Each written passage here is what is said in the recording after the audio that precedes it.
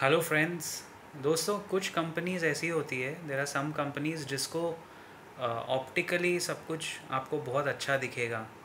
uh, उसको valuation देना थोड़ा सा डिफ़िकल्ट हो जाता है and you are you end up scratching your head कि इसमें कॉल क्या देना चाहिए। वन सच कंपनी जो अभी भी प्राइस के हिसाब से looks like a great buy business के हिसाब से भी to me looks like a good business लेकिन इसमें, इस वक्त अभी के मार्केट कंडीशन में इमीडिएटली आप एक तरह से बाय या सेल दोनों नहीं बोल सकते। This company is Saregama Saregama was the erstwhile जिसको आप जानते हो ग्रामोफोन रिकॉर्ड्स के टाइम से चली आ रही है। बहुत पुराना हिस्ट्री है इसका। और ये कनेक्टेड है म्यूज़िक लेबल्स से तो इनका 82 परसेंट रेवेन्यू तो म्यूज़िक सोर्सेज और स्ट्रीमिंग से आता है। You might have heard of a company called H M V तो HMV के लेगेसी से सारे गामा बनता है। सारे गामा का द गुड पार्ट है। The good part about this stock is net profit like I said for Route Mobile दो दिन पहले, सारे गामा का नेट प्रॉफिट बढ़ता जा रहा है। एंड वेन आई से बढ़ता जा रहा है मतलब every year net profit 25-25 percent twenty five percent minimum growth दे रहा है। 2019 टू 2020 पोस्ट 2020 देखोगे तो आप एक बीच के एक साल में तो तीन गुना हुआ था। So that is a good part R O E अभी हमारे कंफर्ट से थोड़ा कम है, लेकिन होपफुली इंक्रीज़ होगा तो वो ट्वेंटी परसेंट के ऊपर जा सकता है। फ़िलहाल it is sixteen seventeen percent but it is on an upward spiral मतलब वो इम्प्रूव हो रहा है, गिर नहीं रहा है। फिर उसके बाद आपका आता है R O C E consistent है इम्प्रूव हो रहा है। एफ़ आई आईज़ का स्टेक काफ़ी अच्छा है कंपनी में एंड वो स्टेक बढ़ा रहे हैं।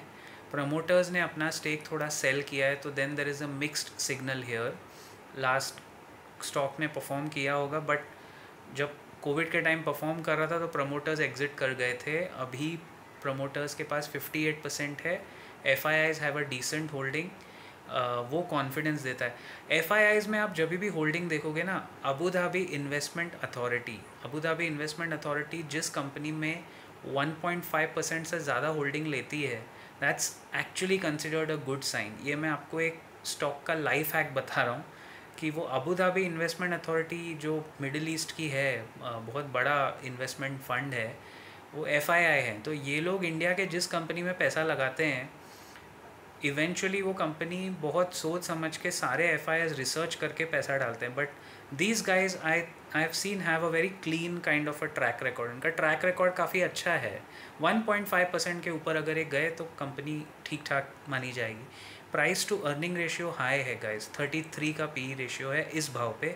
प्राइस है सारे गामा का 30 सॉरी 327 एट 327 बुक वैल्यू 75 यानी फोर एंड हाफ़ फाइव का price to book four and half का प्राइस टू बुक 33 का पी रेशियो प्रॉब्लम यह है कि स्टॉक कंटिन्यूसली डाउन ट्रेंड में है।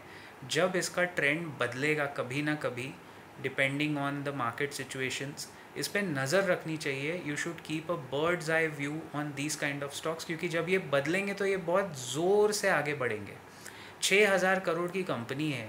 Technically I would still put it in a small cap stock तो अगर स्मॉल कैप में हाई रिस्क लेना ही है I am not saying just go out and buy this but please अपने registered financial advisor जब कंसल्ट करेंगे तो इस तरह के स्टॉक आपके माइंड में भी होने चाहिए एज अ सेल्फ असेसमेंट कि भाई मैंने भी ये ढूंढ के रखे I see you around in the next video very soon till then keep profiting let's hope fingers crossed कि फिनलैंड के नेटो ज्वाइन करने से हमारे निफ्टी को ज़्यादा धक्का ना लगे।